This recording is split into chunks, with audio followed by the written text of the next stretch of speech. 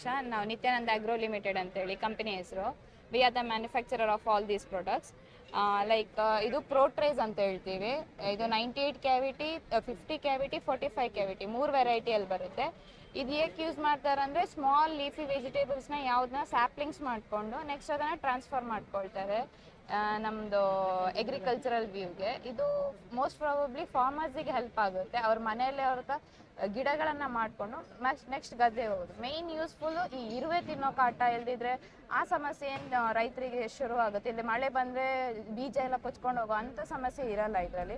First ಅವ್ರು ಎಷ್ಟೇ ಸಿಗ್ಬೇಕು ಅಷ್ಟು ಸ್ಯಾಪ್ಲಿಂಗ್ ಮಾಡಿಕೊಂಡು ನೆಕ್ಸ್ಟ್ ಅವ್ರು ಟ್ರಾನ್ಸ್ಫರ್ ಮಾಡ್ಕೊಳ್ಬೇಕು. ಯಾಕಂದರೆ ಬೇರ್ ಬಂದಿರುತ್ತೆ ಸ್ಟ್ರಾಂಗ್ ಆಗಿರುತ್ತೆ. ನೆಕ್ಸ್ಟ್ ಅದು ಕಲ್ಟಿವೇಟ್ ಆಗುತ್ತೆ. ಅವ್ರಿಗೆ ಏನಾದ್ರೂ ಲಾಸ್ ಇರಲ್ಲ. ಅವ್ರ ಬೀಜ ಹೋಯ್ತಾ ಅದು ಹೋಯ್ತು ಆ ಥರ. ನಮ್ಮ ಮೇನ್ ಪ್ರಾಡಕ್ಟ್ ಬಂದು ಪ್ಯಾಡಿ ಟ್ರೇ ಅಂತ ಹೇಳ್ತೇವೆ. ಈ ಪ್ಯಾಡಿ ಟ್ರೇ ಯೂಸ್ ಆಗುತ್ತೆ ಅಂದರೆ ನಾರ್ಮಲಿ ಸೌತ್ ಕೆನಡಾದಲ್ಲಿ ಭತ್ತ ಮಾಡ್ತಿದ್ದಾರೆ, ನಾಟಿ ಮೆಷಿನ್ ನಾಟಿ ಮಾಡ್ಲಿಕ್ಕೆ ಸ್ಟಾರ್ಟ್ ಮಾಡಿದ್ದಾರೆ.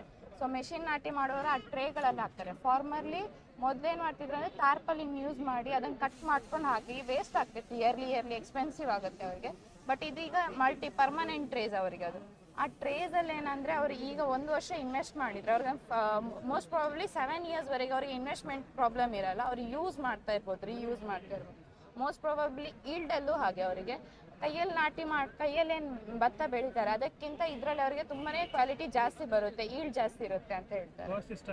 ಅದು? ನಿಮಗೆ ಮ್ಯಾಕ್ಸಿಮಮ್ಲಿ ಲೈಕ್ ಹೋಲ್ಸೇಲ್ ರೇಟ್ ಅಂದರೆ ನಾವು ಜಾಸ್ತಿ ಸಿಕ್ಸ್ಟಿ ರುಪೀಸಿಗೆ ಸ್ಟಾರ್ಟ್ ಮಾಡ್ತೀವಿ ಕೊಡಲಿಕ್ಕೆ. Like they are if they are having ten thousand twenty thousand ಆ ಥರ ಏನಾದರೂ ಆರ್ಡರ್ ಇದೆ ಕಮ್ಮಿ ಆಗುತ್ತೆ ನೆಕ್ಸ್ಟ್ ಹೋಲ್ಸೇಲ್ ಪ್ರೈಸು ಈಗ hundred to hundred self use ಮಾಡೋರಿಗೆ ಸಿಕ್ಸ್ಟಿ ರುಪೀಸಲ್ಲಿ ಕೊಡ್ತೀವಿ. ಈ ಪ್ರೋಟ್ರೇನು ಲೈಫ್ ಆ, ಈ ಪ್ರೋಟ್ರೇ ಲೈಫು ಹಾಗೆ ten years life time use ಮಾಡ್ಬೋದು ಅವ್ರು ಏನು ಪ್ರಾಬ್ಲಮ್ ಇಲ್ಲ.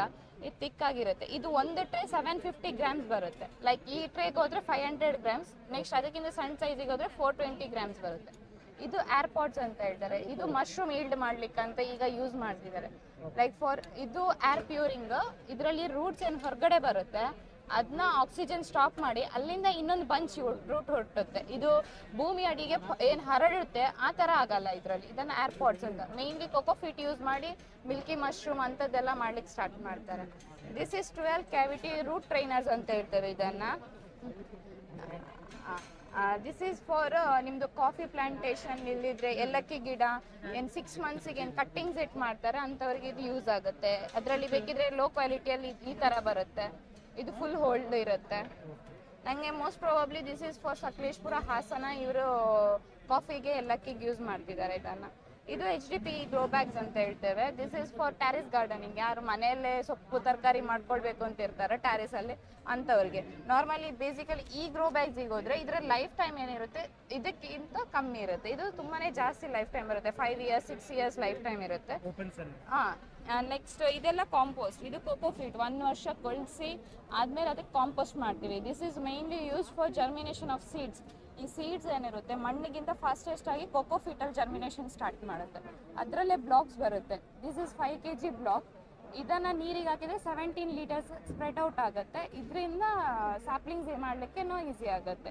ಅದು ಲೋ ಈಸಿಯಲ್ಲಿ ಮೇಂಟೈನ್ ಆಗಿರೋದ್ರಿಂದ ಒಳ್ಳೆ ರೀತಿಯಲ್ಲಿ ರಿಸಲ್ಟ್ ಕೊಡುತ್ತೆ. ನೆಕ್ಸ್ಟ್ ಬರೋದು ವರ್ಮಿ ಕಂಪೋಸ್ಟ್ ಇದು ಎರೆಹುಳ ಗೊಬ್ಬರ ಅಂತ ಹೇಳ್ತೀವಿ ನಾವು. ಇದು ಮೋಸ್ಟ್ ಪ್ರಾಬಬ್ಲಿ ಗ್ರೋತಿಗೋಸ್ಕರ ಯೂಸ್ ಮಾಡ್ತಾರೆ ಗಿಡಗಳು. ಮಲ್ಲಿಗೆ ಗಿಡ ಇಲ್ದಿದ್ರೆ ನಾರ್ಮಲ್ ಯಾವ ಗಿಡಗಳನ್ನು ಯೂಸ್ ಮಾಡ್ತಾರೆ? ಹೈಬ್ರಿಡ್ ಗಿಡ ಅದಕ್ಕೆ ತುಂಬ ವರ್ಕೌಟ್ ಆಗುತ್ತೆ. ನೆಕ್ಸ್ಟ್ ಬರೋದು ನೀಮ್ ಕೇಕು ನೀಮ್ ಕೇಕ್ ಹುಳ ಬರೋದಾಗೆ ಕಂಟ್ರೋಲ್ ಮಾಡುತ್ತೆ ಬುಡಗಳಿಗೆ ಹಾಕಲಿಕ್ಕೆ. Next castor castor is mainly use for ಮಲ್ಲಿಗೆ ಗಿಡ.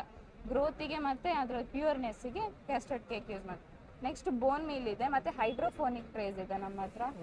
ದಿಸ್ ಇಸ್ ಹೈಡ್ರೋಫೋನಿಕ್ ಟ್ರೇ ಇದು ಫಾರ್ಡರ್ ಸಿಸ್ಟಮ್ ದನಗಳಿಗೆ ವಿದೌಟ್ ಯೂಸಿಂಗ್ ಮಣ್ಣು. ನೀರಲ್ಲಿ ಡ್ರಿಪ್ ಇರಿಗೇಷನ್ ಸಿಸ್ಟಮ್ ಮಾಡ್ಕೊಂಡು ಯೂಸ್ ಮಾಡ್ತಾರೆ ಇದನ್ನ ಫಾರ್ಡರ್ ಮಾಡಲಿಕ್ಕೆ ದನಗಳಿಗೆ ಒಳ್ಳೆ ಮಿಲ್ಕ್ ಬರೋ ಹಾಗೆ ಜೋಳಗಳಲ್ಲಿ seven days life time cycling ಅಲ್ಲಿ ಮಾಡ್ತಿದ್ದಾರೆ ಇದನ್ನೆಲ್ಲ. ಇದು ಜಾಸ್ತಿಯಾಗಿ ತಿಪ್ಟೂರು ಆ ಸೈಡಲ್ಲೆಲ್ಲ ನಮಗೆ ವರ್ಕೌಟ್ ಆಗ್ತದೆ. ಇದು ಪರ್ ಟ್ರೇ ನಿಮಗೆ ಹೋಲ್ಸೇಲ್ ರೇಟ್ ಆದ್ರೆ ಒನ್ ಸೆವೆಂಟಿ ಫೈವ್ ಒನ್ ಫಿಫ್ಟಿಯಲ್ಲಿ ಬರುತ್ತೆ. Like usually one two trays ಆದ್ರೆ ಟೂ ಹಂಡ್ರೆಡ್ ರುಪೀಸಲ್ಲಿ ಓಕೆ